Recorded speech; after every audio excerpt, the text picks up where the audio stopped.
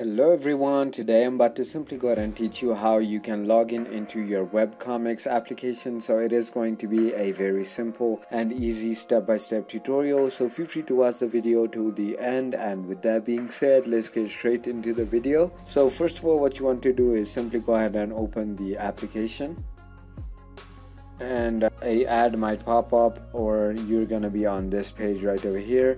And over here what you want to do is simply go ahead and tap on profile on the bottom right of your screen and tap on the top right login button.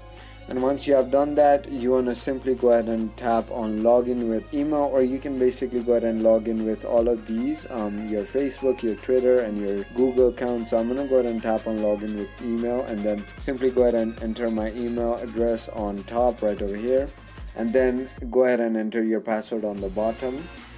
Once you have entered your password you want to simply go ahead and tap on the login button and it will go ahead and log you in into your account. So if you thought this video was informational feel free to hit that subscribe button hit that like button and comment down below what video you want me to make next. And with that being said thank you so much for watching